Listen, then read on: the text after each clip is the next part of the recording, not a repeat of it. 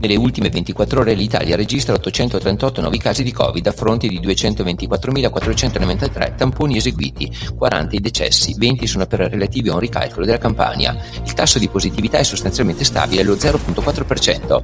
La percentuale di popolazione vaccinata sopra i 12 anni d'età sale al 31,9%, con il 60,6% che ha ricevuto almeno una dose. In totale sono 49.163.396 vaccini contro il Covid-19 somministrati in Italia, l'89,9% 99% del totale di quelle consegnate.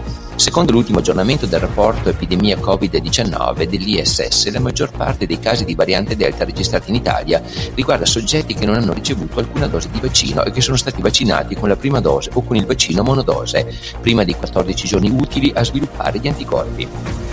Intanto le regioni lanciano l'allarme proprio sui vaccini. A luglio ci sarà una riduzione del rifornimento e arriveranno meno dosi di quelle previste. Per questo le regioni temono che le dosi non siano sufficienti a coprire la platea. Se così fosse, si rischierebbe di rallentare la campagna vaccinale e di dover rinviare le prenotazioni per chi aspetta ancora la prima iniezione. Le richieste di rivedere la distribuzione delle quantità del vaccino per i mesi estivi arrivano da più parti. Appelli in questo senso sono stati fatti da Campania, Friuli, Venezia, Giulia, Lazio, Lombardia, Piemonte e anche per la Puglia.